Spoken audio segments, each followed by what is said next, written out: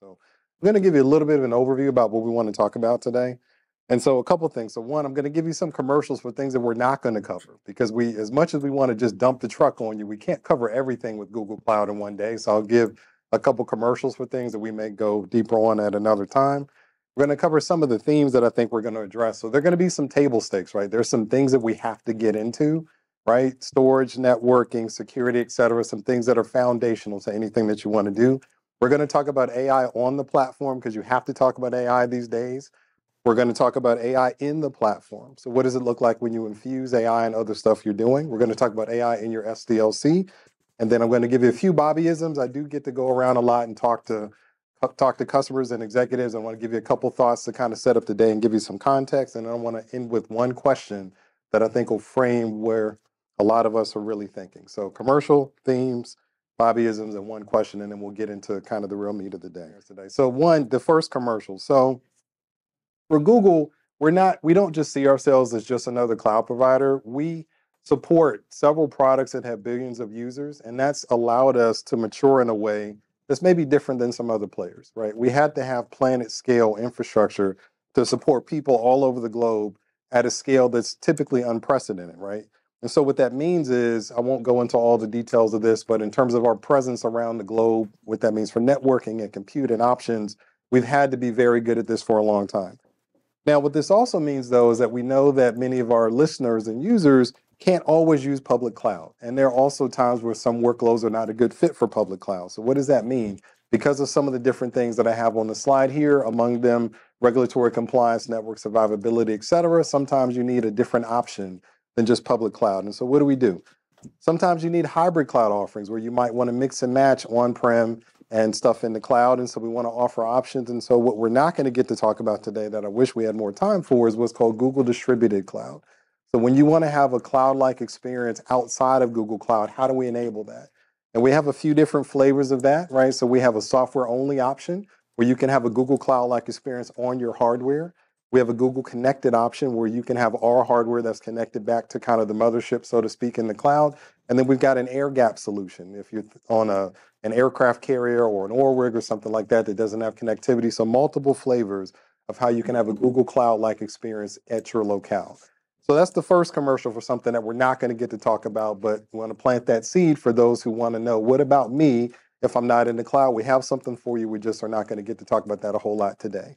The other thing that's really big for a lot of folks is modernization that we're not going to touch on. So you've got maybe some workloads that are VM based or that are a, a kind of a legacy platform we do have technology that will help you kind of make the leap to containers and serverless if you want to go that route. Uh, some of the, I see some folks in the room smiling because you've played around with some of this stuff before. But just know that we have technology that can help you kind of discover, assess, translate, and then modernize a lot of what those workloads look like. So just to flash a couple things on the screen, uh, this is a rough flow for how we attack that. We've got something called Migration Center that can look at your entire estate, kind of segment what goes where, talk to you about landing zones. We have tools like Migrate to Containers. By the way, all this tooling is free um, to help you actually modernize the workloads, generate artifacts, and actually get you from something like a VM-based architecture to, again, containerized or serverless. And then we have some supported application frameworks, right? So you can see here a list of things that we use quite often uh, in our businesses and in the enterprise where we've got a full path to get you to containers and serverless if you so choose. Again, sorry, commercial break. We won't get to dive deep into that, but just know for the people online that we do have options around these particular things. Now, having said that, let me give my first Bobbyism just to kind of set up the day. So, everything new isn't good and everything old isn't bad. And I think what's happening right now is we often over rotate towards the new and shiny things and forget that there's a lot of stuff that we knew before we came into the room that actually was very interesting. So for any of the folks in the room or online, if you look me up, you'll see that I made up my own title on LinkedIn. I call myself a cloud therapist. What in the heck does that mean? Well, one, it means I get to define what it means because a lot of people don't have that title. But part of what it means is Google, and, and I try to be humble enough to say that there are a lot of good and bad things that happened before we showed up. No therapist has you sit on the couch to talk about them. They're there to talk about you and to listen. And so, if nothing else, Google wants to do this. I want to do this. We want to make sure we're listening to what you need and talking about outcomes to see where you want to go. Now, in addition to that, I'll also say that we want to make sure that you can learn all you can, but don't forget all you know. There's a lot of history that came with us into this room, right? So, Uh, I live in Charlotte, aka Silicon South, and we say things a little nicer in the South sometimes. So, for example, we don't say old, we say seasoned. Doesn't that sound a lot better? You got more life marinade, not that you're old. The other thing that I like is sometimes we say legacy workloads. I like vintage workloads because vintage workloads imply something that has value and likely paid our salaries. But the reality is that history means something, right? And so we want to make sure that, yes, we are going to talk about AI today, but we're also going to make sure we ground that and some of the other foundational things you've got to get right on the path to doing AI. We're talking a lot about AI, but that's not the only thing that we're doing. So we want to kind of acknowledge that elephant in the room. With that said, I'd love to give you all kind of my executive summary around where I think AI is in context today, if that's okay. So here's my executive summary for AI. You ready for this? Okay, here it is. AI is not the thing.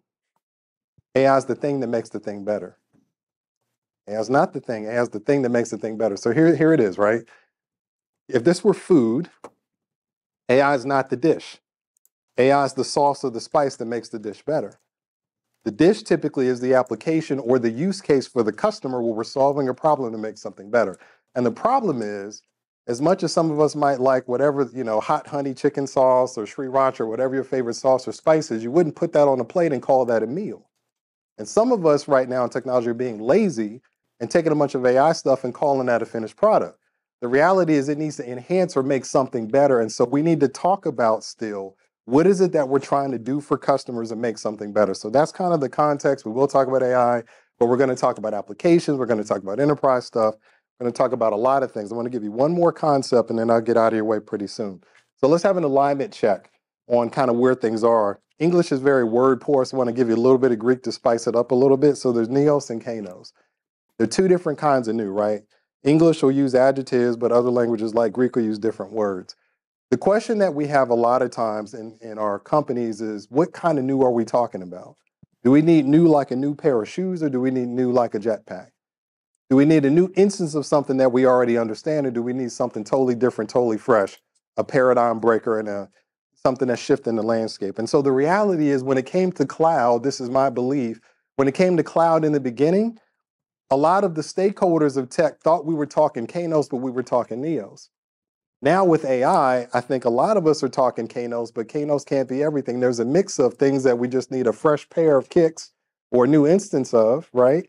And then other times when we need something brand new. So we've got to make sure that we're being creative, we're being inventive, but we're also being realistic. We can't transform everything at the same time. And so we want to give you kind of a balanced diet today, if you will talk about the new stuff, talk about the existing things, those legacy vintage things that we need to address. And then we want to make sure that we answer this question because this is what I think if I was a listener, this is what I'd want to know. We've always heard about the new thing, the shiny thing, the exciting thing, right? Whether, and I'm not going to name different technologies because I don't want to disrespect everybody, but this thing is going to change the game. This is going to revolutionize everything. And this is the question that I think we have.